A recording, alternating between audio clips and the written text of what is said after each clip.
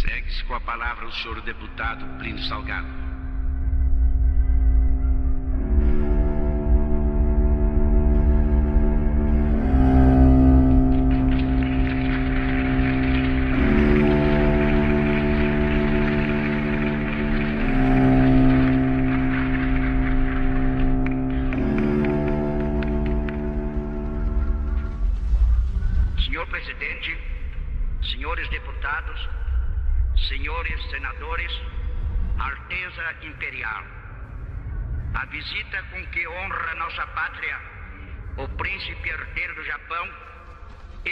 Júbilo o povo brasileiro.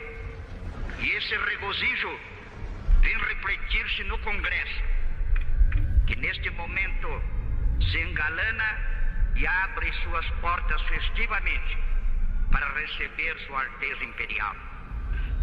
Nas manifestações de contentamento e nas homenagens tributadas ao ilustre príncipe do Império Nipônico, perceberá Sua Alteza, como percebemos nós, os sentimentos de amizade que unem dois povos, geograficamente colocados nos extremos opostos do globo terrestre, na misteriosa missão de montar guarda em vigília ao sol vivificante. Tais sentimentos de estima se fundam em motivos históricos, depois sociológicos e econômicos, acentuados com o decorrer dos anos mais recentes, a partir dos princípios deste século. Nosso primeiro contato efetivou-se no século XVI, quando aquele outro nobre povo, de caráter e temperamento ecumênicos, o povo português, levou ao mesmo tempo as suas caravelas evangelizadoras ao Império do Sol Nascente e ao país do Cruzeiro do Sul. Assim, enquanto Francisco Xavier transmitia aos japoneses a mensagem de amor e de confraternização das raças iluminadas pela luz do Espírito, seus irmãos em fé, Anchieta e Nóbrega, traziam às populações primitivas do Brasil o anúncio do mundo em que os homens se compreendessem e procurassem a felicidade na troca de benefícios e nos comuns objetivos de paz. Essa tradição histórica processou-se e desenvolveu-se no curso dos séculos sem que o percebêssemos, isolados e distantes como éramos. De tal maneira, porém, que dir-se-ia um preparativo de 400 anos para que um dia nos encontrássemos, superando longitudes e latitudes, e pudéssemos, japoneses e brasileiros, abraçar-nos e caminhar juntos objetivando pelo trabalho o ideal da realização inspirada no desejo de uma cooperação fraterna cada vez maior. Tudo nos conduzia para isso.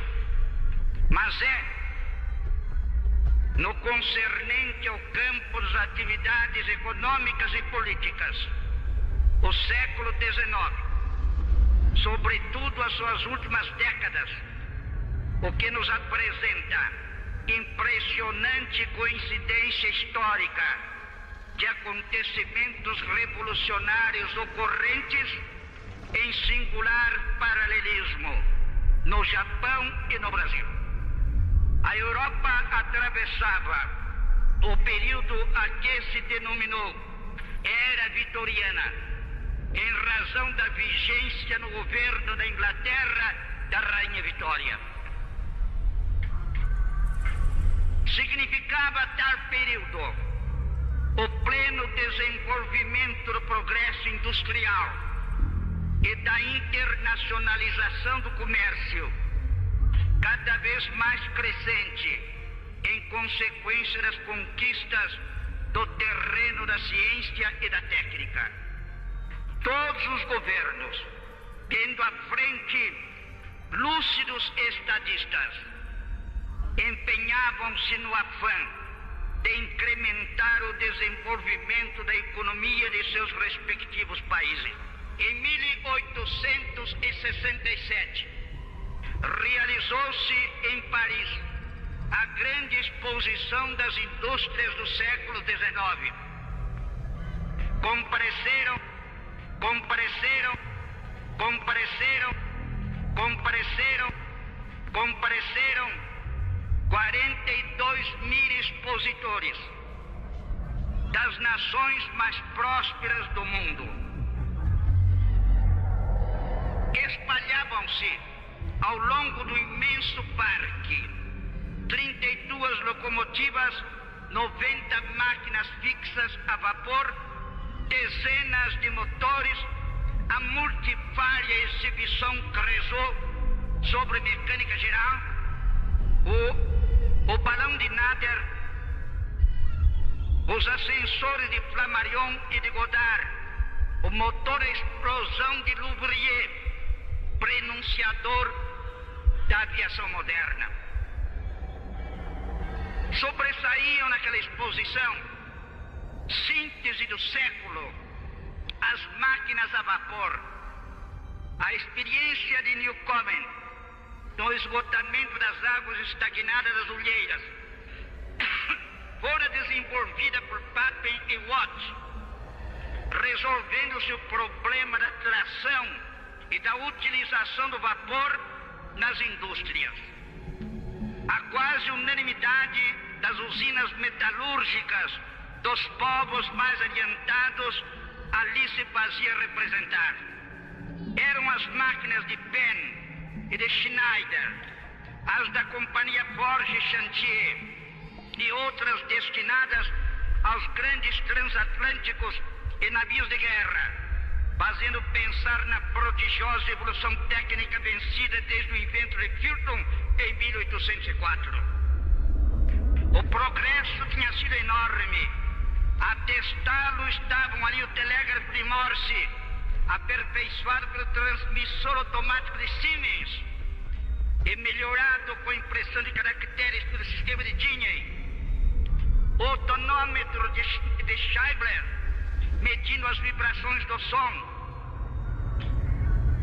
assi, assinalando as previsões do tempo, o meteorógrafo de Sheck, o espectroscópio de Bunsen e Kirchhoff, descortinando a identidade da composição química do universo sensível, os faróis de Fresner, aperfeiçoados por Stevenson, garantindo a segurança dos nautas, os tubos de Geisler, prenunciando com suas cores de magia o sortilégio dos elétrons, a balança metalométrica de Rosalind, o freio elétrico de Achar, o pirômetro de Musseron, o calorímetro de Colas, o pantelégrafo de Caselli, transmissor de facsímiles, os cabos submarinos de Secretan, os fogões de Bailly, o contador de gás de Glover, o pandinamômetro de I.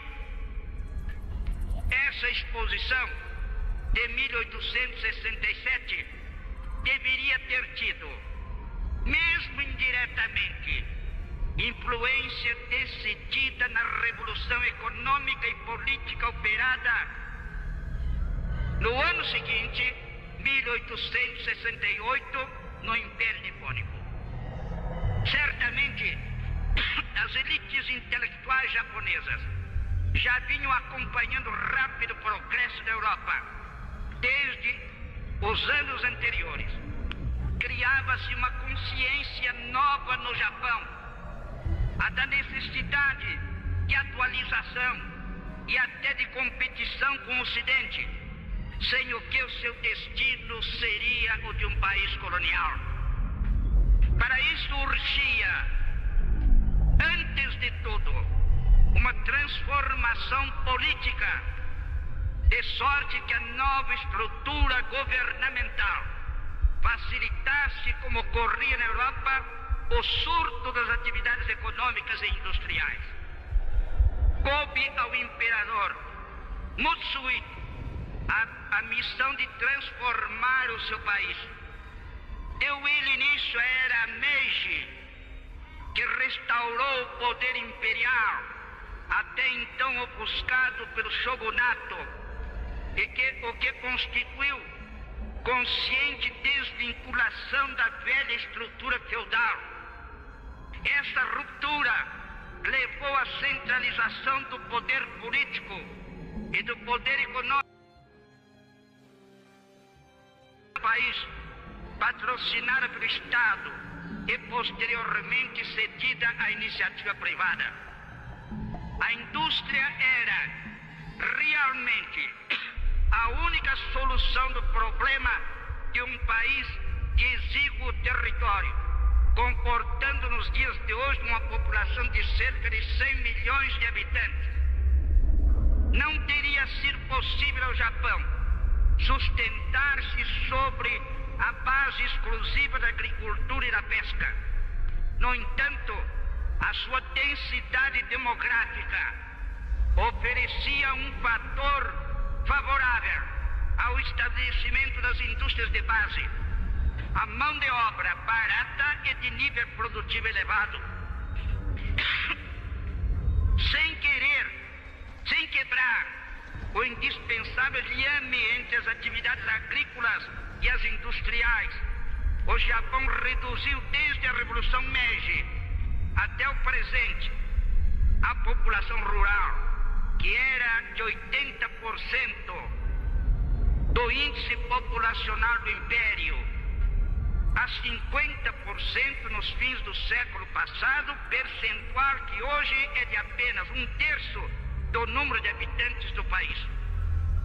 Foi isto possível pela modernização dos processos da agricultura, que passou a ocupar menos homens e a produzir muito mais. Falamos do paralelismo histórico entre o Japão e o Brasil na fase da Revolução Industrial da Europa, em que o Império se integrou. Verificamos apenas que, havendo por parte de nosso país um maior contato com os europeus, precedemos o Japão no surto do desenvolvimento industrial, que teve seu início 20 anos antes principalmente pela ação do Visconde de Mauá, que empreendeu a navegação do rio Amazonas, fez correr sobre os trilhos nossas primeiras locomotivas em 1854. Iluminou a gás o Rio de Janeiro, melhorou as condições de nossos portos e deu os primeiros passos para a construção de nossos estaleiros. Mas no curso da segunda metade do século XIX, embora mais lentamente, o ritmo da Revolução Industrial brasileira acompanha a acelerada Revolução Industrial japonesa. Nossas dificuldades eram de natureza oposta. Para o Japão, o que constituía obstáculo estava na exiguidade de seu território de apenas 369 mil quilômetros quadrados. Para o Brasil, era a vastidão da sua superfície de 8 milhões e meio de quilômetros quadrados. Se, do aspecto orográfico, a agricultura nipônica encontrava embaraços à mecanização do trabalho rural, pelo excesso de montanhas ásperas, entre as quais figuram cerca de 200 vulcões ativos e extintos, para nós, as dificuldades eram outras: o desbravamento das florestas, a insuficiência dos meios de transporte, pela inexistência de estradas e navegação fluvial, as enfermidades tropicais, exigindo exaustivo esforço no sentido do saneamento de vastas áreas. Mas o espírito dominante nas elites japonesas era o mesmo em nosso país nosso desenvolvimento industrial, dependia da introdução de correntes imigratórias, como já nos haviam ensinado o rei Dom João VI e seu filho imperador Dom Pedro I, quando introduziram no Brasil as primeiras levas de chineses, de alemães e de suíços. Para isso, tínhamos de facilitar o ingresso dos alienígenas nos sertões, onde multiplicávamos nossas fazendas de café. Dá-se então, no período de menos de 20 anos, verdadeira revolução ferroviária, iniciada por Saraiva, presidente da província de São Paulo, em discurso pronunciado em 1855, e realizada pela energia dos paulistas, que lançaram os trilhos das estradas de ferro Sorocabana, Ituana, Buciana, Paulista e São Paulo Rio, alcançando o âmago das terras a serem cultivadas e abrindo as portas das servas a todos os povos do mundo. Essa coincidência das realidades nacionais, essa aspiração ao progresso, são as mesmas no Japão e no Brasil. Naquele ano de 1868, em que o imperador do Japão, Mutsuhito, dava nova estrutura à vida social e política de seu país, Aqui no Brasil se evidenciava o envelhecimento e a inadequação dos velhos partidos do Império, evidenciadas principalmente na queda do gabinete Zacarias e sua substituição pelo Visconde de Itaboraí. Os partidos já não tinham substância, nem doutrinária nem programática. Três anos depois, o Manifesto Republicano, encabeçado por Sardanha Marinho, traçava os rumos da Revolução Política Brasileira. A abolição do trabalho escravo, a instituição de um regime federativo consoante os interesses do progresso de vastíssimo país eram as, as notas predominantes dos objetivos de uma elite esclarecida.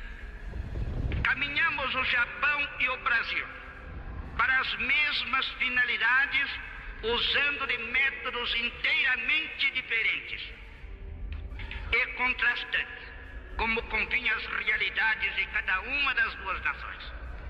O Japão, com área territorial reduzida e agravada por uma estrutura feudal que enfraquecia o poder imperial, precisava da centralização indispensável ao planejamento de realizações necessárias ao progresso do país. O Brasil, com área territorial imensa, precisava, ao contrário, de uma relativa mas eficaz descentralização que só poderia vir do sistema federativo. A União deveria impor os, os princípios gerais, preservadores da unidade nacional e da uniformidade do direito assim como lhe competiriam os serviços de administração comuns aos interesses de cada uma e de todas as províncias, que se pleiteava fossem considerados Estados membros autônomos da comunidade política da nação. Aparentemente conflitantes, as transformações japonesa e brasileira refletiam o mesmo espírito de atualização dos dois povos aos imperativos de uma civilização que surgia sob a égide do ferro, do aço, dos combustíveis, das indústrias de base, da tecnologia que iria aprimorar-se no século em que vivemos. Tais coincidências de propósitos entre o Japão e o Brasil aceleravam a preparação do nosso encontro para uma cooperação no sentido de atender aos interesses das duas pátrias. O encontro é facilitado pelo contraste das nossas condições geográficas e demográficas. O Japão, país de alta expansão populacional e de território pequeno, tem na, na imigração uma válvula natural para a solução de um dos seus maiores problemas. O Brasil, embora a, li, a linha demográfica seja ascendente pelo crescimento vegetativo, dispõe de zonas extensas, inteiramente inexploradas, e a reclamar a contribuição humana de todos os povos. Mesmo nas regiões que atingiram alta expressão industrial, como o estado de São Paulo, é-nos preciosa a contribuição japonesa como alicerce de sustentação das populações urbanas entregues a atividades industriais.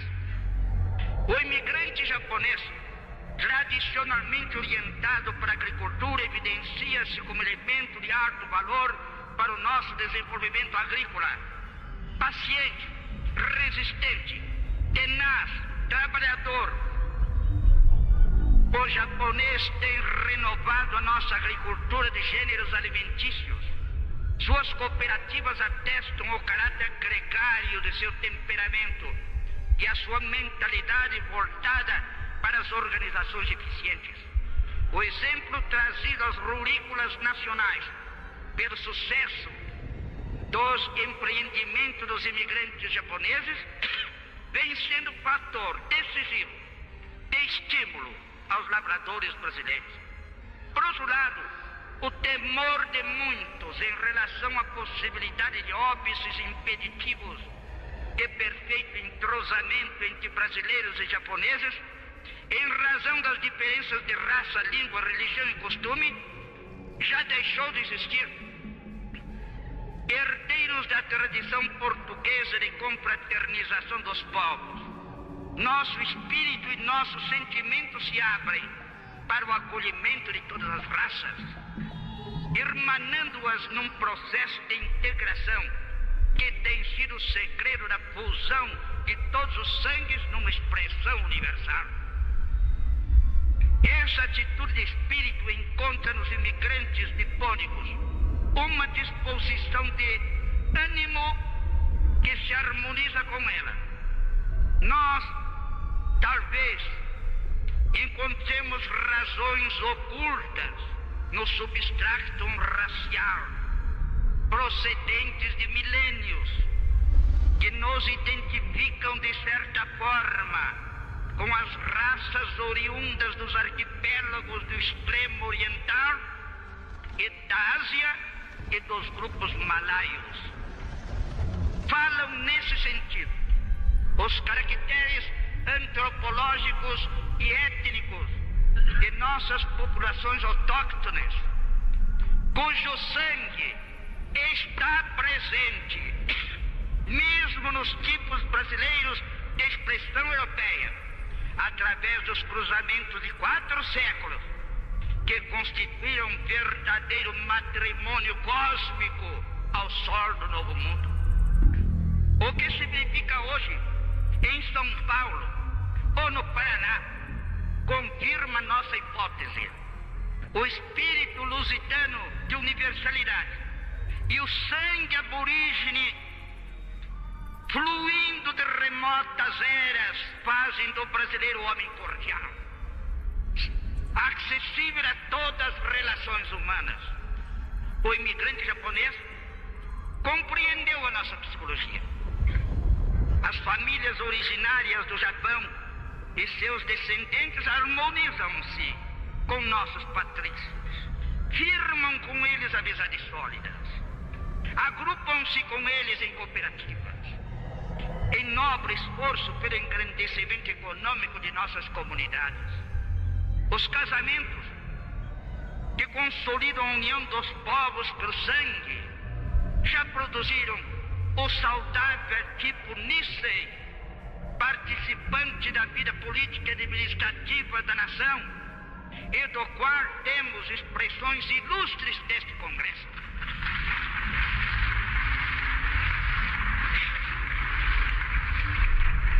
A história da imigração japonesa no Brasil pode ser dividida em cinco períodos. O primeiro é assinalado pela assinatura do Tratado de Amizade entre o Brasil e o Japão, o qual estabeleceu relações regulares abrindo as possibilidades imigratórias, isso em 1895. A empresa nipônica Kishisa e Mincaixa enviou representante a São Paulo. Infelizmente, a crise econômica que sobreveio em consequência da queda do preço do café impediu que se realizasse esta primeira imigração. Foi somente em 1908 que se efetivou o começo da imigração subsidiada pelo governo paulista, com a finalidade de abastecer o mercado deficitário de braços na sua lavoura cafeeira. O ministro, o ministro plenipotenciário do Japão, senhor Shishimura, em relatório enviado ao seu governo, exprimira-se três anos antes da seguinte maneira: proibida a entrada na Austrália, discriminados nos Estados Unidos, perseguidos no Canadá e agora limitados também nas, nas ilhas do Pacífico, os nossos colonos trabalhadores encontrarão no estado de São Paulo uma rara felicidade e um verdadeiro paraíso.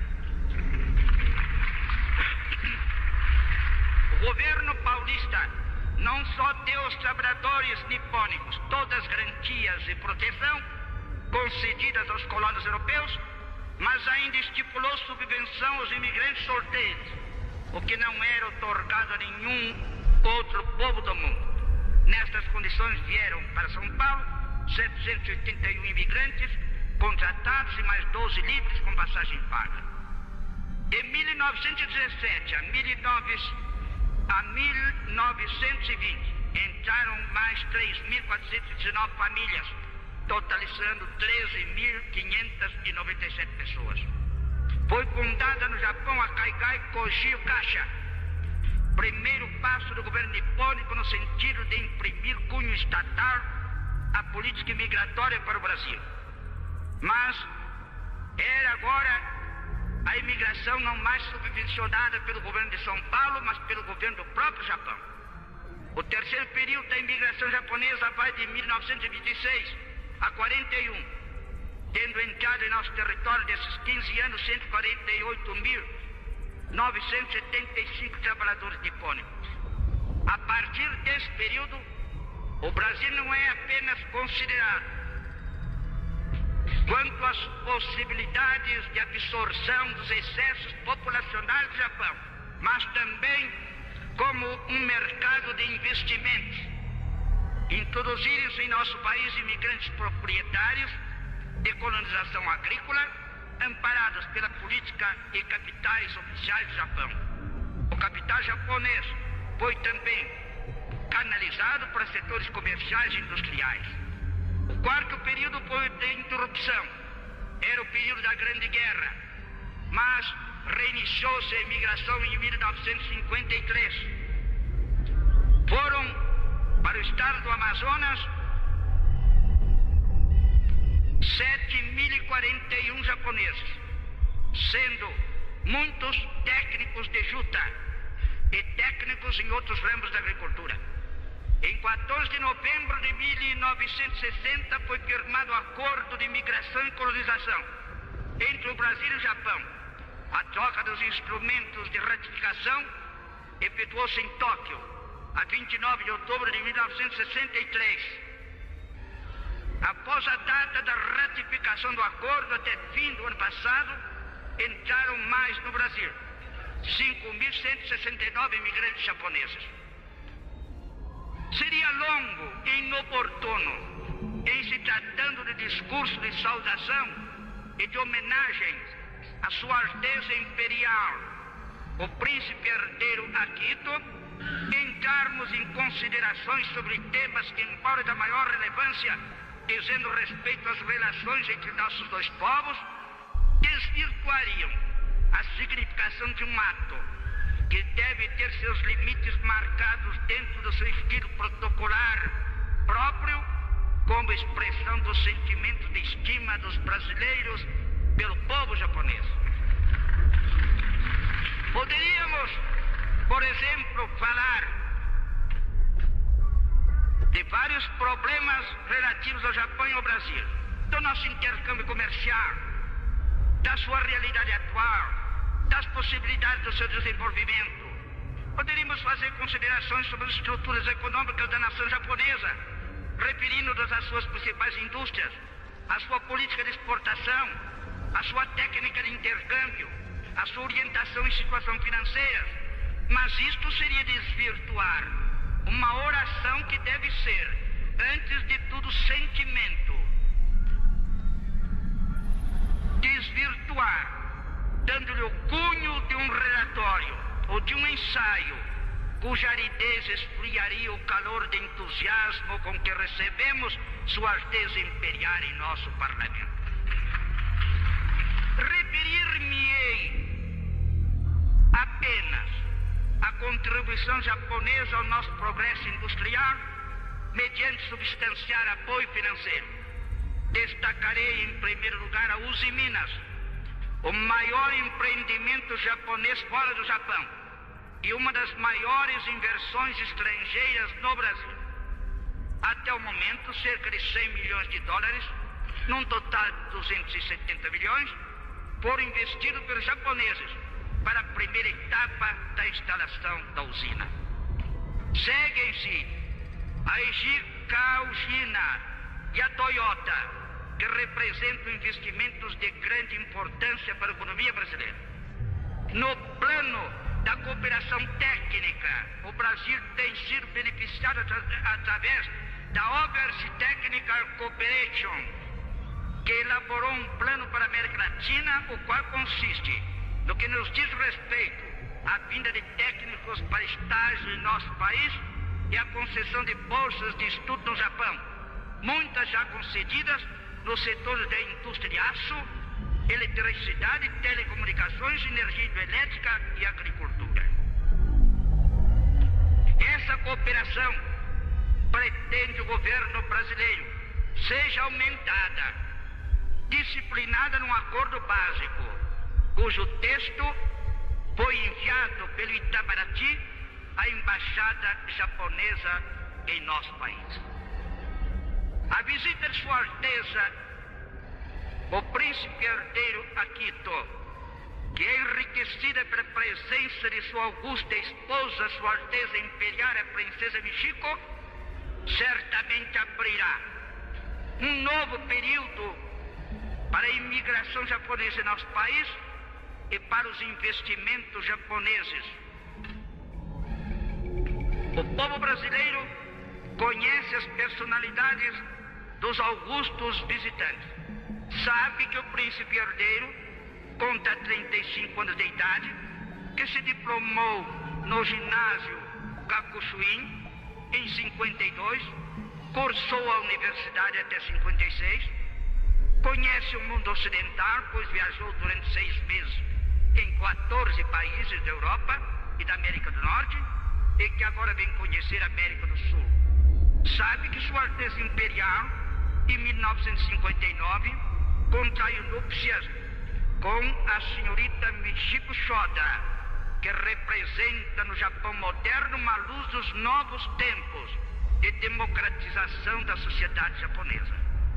Sua Alteza Princesa Michiko diplomou-se com honra na Universidade Feminina do Sagrado Coração. Dedica-se ao estudo das línguas estrangeiras, da história, da música clássica ocidental e da literatura. O casar imperial é, sobretudo, o símbolo do Japão renovado e representa para seu povo as esperanças de um futuro promissor. Alteza Imperial, sois a continuidade de elos históricos que o destino assinalou com imperecíveis vitórias e tragédias dolorosas. Vosso bisavô, o Mikado Mutsuhito, extinguiu o sistema feudal que enfraquecia e desagregava as forças da nacionalidade, dando um passo decisivo para a implantação da democracia, mobilizando todas as energias nacionais para operar no curto espaço de 30 anos, o que outros povos tinham conseguido em séculos. glorificou-se destarte como criador de uma potência econômica e militar que entrou no cenário da história em igualdade de condições com as mais fortes nações do mundo. Teve ainda visão lúcida da política exterior, preocupando-se com o equilíbrio asiático, tal como na Europa um século antes Metternich, Talleyrand e Canning se preocuparam com a segurança do Ocidente em face das ambições de expansão territorial da Rússia czarista.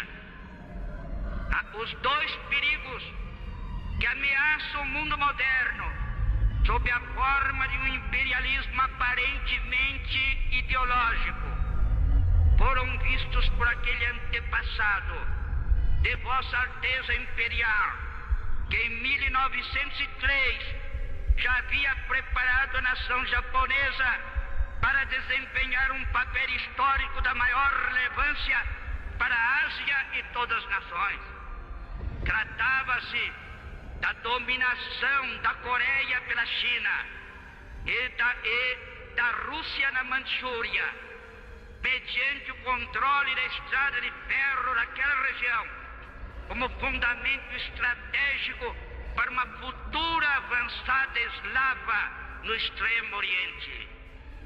Do mesmo modo como em 1815 o Congresso de Viena estabeleceu como firmes muralhas militares os impérios austro-húngaro e otomano e restaurou o poder da Prússia, o avô tratou de fazer do Japão o baluarte mantenedor do equilíbrio político nos mares e nos pontos então vulneráveis do continente. Assim, podemos interpretar o sentido da, da guerra contra o Império Czarista, iniciada em Porto Arthur pela já poderosa esquadra japonesa e que prosseguiu em espetaculares batalhas na terra e no mar, cobrindo de glória os heróis nipônicos até a vitória final pela re rendição de Mukden. O mediador da paz foi o presidente dos Estados Unidos, Theodore Roosevelt, que se hoje vivesse, lamentaria os erros de seus sucessores, que não compreenderam a necessidade imperativa do equilíbrio asiático, tanto como a do equilíbrio europeu, o que teve como consequência o sacrifício norte-americano nas guerras da Coreia e do Vietnã para salvar o que ainda resta de possibilidade de manutenção da democracia e da liberdade. Vosso avô, o imperador Tacho, continuou a sábia política interna e externa de Meiji. Pelo seu falecimento subiu ao trono vosso pai, o imperador Hirohito foi marcado pelo destino para assistir a maior tragédia vivida por um povo em toda a história da humanidade. Como, entretanto, o valor dos homens se revela mais na diversidade do que no êxito, o imperador Hiruito soube encarar com a serenidade dos grandes e altos exemplares da espécie humana as desgraças consequentes de circunstâncias históricas irremovíveis. Com a força de ânimo herdada de seus maiores, enfrentou o infortúnio e, de certa forma, operou em seu país uma revolução semelhante àquela de seu bisavô. O Japão, como a fênix da fábula, ressurgiu de suas próprias cinzas, aprimorou o sistema democrático já anteriormente vigente na monarquia constitucional, reagrupou as energias da nação recuperou o que era possível, mobilizou todo o seu povo e retomou a linha do fortalecimento econômico e do progresso industrial do país. A economia japonesa registrou o mais elevado índice de crescimento no mundo após a Segunda Guerra Mundial.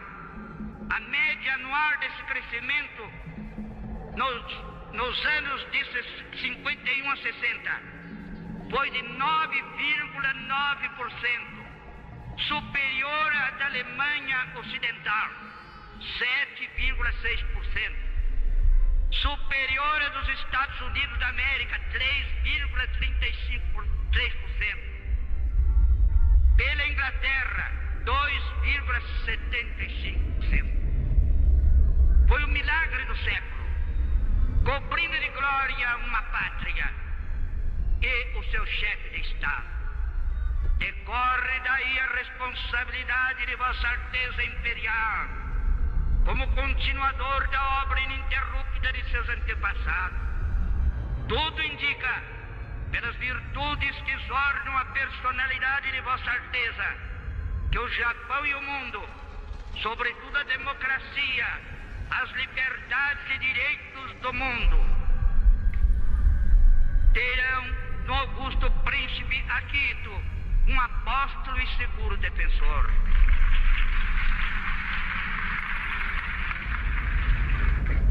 Temos falado do potencial econômico e do progresso técnico do povo japonês, mas é preciso não nos esquecermos dos, da sua potencialidade espiritual.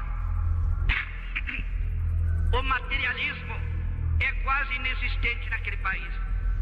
A religião autóctone, autóctone é o shintoísmo, com 19 milhões de fiéis. O budismo, introduzido no Japão nos fins do século VI, conta 56 milhões de adeptos. O cristianismo conta hoje 670 mil crentes, dos quais 309 mil católicos.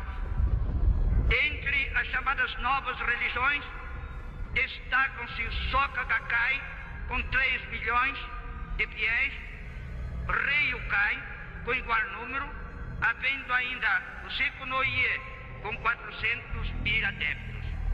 Esse fundo religioso constitui firme garantia contra o materialismo e o ateísmo e revela no seu culto e na sua mística as aspirações transcendentes do povo. As manifestações do espírito japonês revelam-se ainda nas artes e no convívio social, desde o período que poderemos denominar época budista, século VI, VII e VIII, ao chamado de Heian e Fujiwara, séculos IX a XIII, e prosseguindo na fase de Kamakura, século XIII a XIV. A sensibilidade estética japonesa veio apurando-se através das obras de arquitetura, de cerâmica, de, de escultura e de pintura, até atingir na contemporaneidade da renascença europeia os primores da escola de Kano, fundada por Madame Nobu, que criou uma pleia de pintores famosos. E finalmente, entre os séculos 17 e 18, as telas geniais de Corim e as delicadas e tocadas de suave espiritualidade de Moçanobu, Arunobu e Utamaro. No começo do século XIX, projeta-se a figura de Hiroshige, pintor e gravador, que revela a nova arte das estampas a cores e aperfeiçoa a xilogravura. No século presente, para só citar uma expressão que resume o sentido da renovação artística japonesa, basta lembrar Fujita, o pintor que o nosso grande Portinari tanto admirava e do qual não cessava de me falar quando juntos andávamos pela Europa.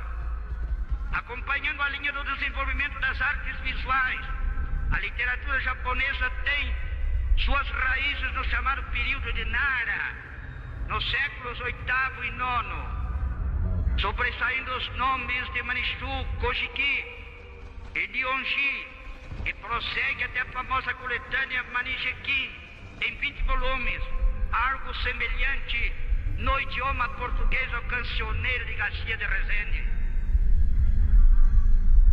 No curso do desenvolvimento literário, seria longo citar os nomes ilustres, todos eles, mas ocorrem-nos os de Yasumaro, Kakinomoto e Itomara, nos tempos mais recentes, partindo do século XVIII, abrangendo o romantismo e o naturalismo, e por fim, a modernidade nossa contemporânea, citaremos na poesia os nomes de Okiai e Nauborne, os de Arivara Naira e Pujibara Indinari, e particularmente os de Masoka e Shiki.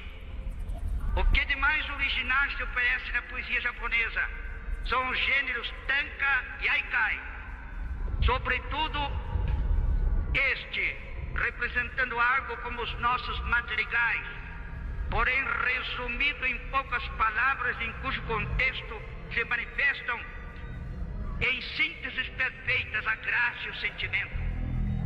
Falando dos prosadores dipônicos, não cabendo num discurso apreciação pormenorizada, poremos em evidência nos dias correntes os romancistas Goyo Comital, e sobretudo Ritchie, celebrizado com seu romance Mausoléu, e o contista Atukagaba.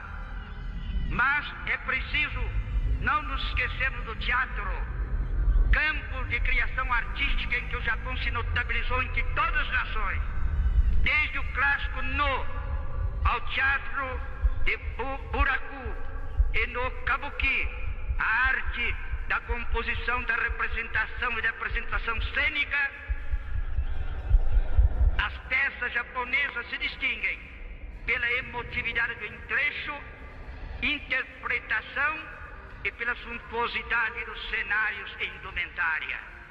Durante muito tempo a música japonesa seguiu o ritmo asiático homófono e de compasso binário, mas hoje, por, por certo, sob influência do Ocidente, evoluiu para o pluralismo das vozes e instrumentos expressivos nos corais e nas orquestras sinfônicas. Concomitantemente desenvolveram-se as danças, das quais as mais famosas são a Azuma, a Niyako e a Naniva. Jamais esquecerei como expressão da confraternização entre brasileiros e japoneses. A grandiosa exibição folclórica anual realizada em Manaus. Ali, entre a exibição das danças brasileiras de origem portuguesa, Tupi-Tapuia e africana, apresentaram-se os grupos japoneses, o que me causou grande emoção, pelo que aquilo significava como integração do elemento nipônico em nossa vida nacional. A delicadeza da alma japonesa se exprime ainda nas artes da laca, da jardinagem paisagística e nos arranjos florais. Na quadra das cerejeiras em flor, essas artes menores, o colorido das vestes, a graça das mulheres, resplandecem ao compasso dos cânticos populares dando no Japão a ideia de um paraíso onde tudo se combina para, para exprimir a alegria de viver e a espiritualidade de um povo, dispondo de todos esses elementos estéticos reunidos ao sentimento religioso e correndo paralelamente ao progresso científico e técnico e animada por uma política de trabalho e de paz a nação japonesa está fadada a ser um baluarte da civilização do Extremo Oriente, com reflexos salutares em todo o mundo. Os povos hoje, aproximados pelo rádio, pela televisão, pelo cinema e pelo avião, tendem a uniformizar seus tipos sociais, seus regimes políticos, os intercâmbios progressivamente cada vez maiores. Evidente que, sobre a base desse denominador comum, cumpre conservar e preservar o que há de próprio na personalidade nacional, pois um povo que faz tábula rasa de suas características, de suas peculiaridades, de sua tradição, destrói as energias anímicas defensoras do seu organismo e prepara-se através de um mal entendido internacionalismo e cosmopolitismo dissolvente para se escravizar as nações que souberam conservar a sua tradicionalidade. Para nós brasileiros, Alteza Imperial, o Japão é de fato o império do sol nascente, pois confiamos que dali surja para a Ásia e demais continentes o astro do dia, anunciado já pela estrela matutina do ideal puro, Alteza Imperial, representais, portanto, aqui neste momento o Império do Sol Nascente. Nós representamos o último Ocidente. Quando o Sol desaparece no nosso horizonte, surge no vosso. Ao nascer, traz-nos a vossa mensagem. Ao mergulhar em nossos sertões do oeste, leva a nossa ao povo japonês. Mensagens de solidariedade humana, de confraternização das raças, de paz aos homens de boa vontade. Quando estiverdes em vosso país, ao verdes o sol nascer, lembrai-vos de nós e dizei, ele veio do Brasil.